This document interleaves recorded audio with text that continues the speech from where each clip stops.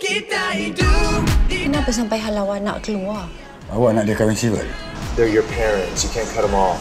No longer my parents. Suami you tak ada kat rumah ke? I can single.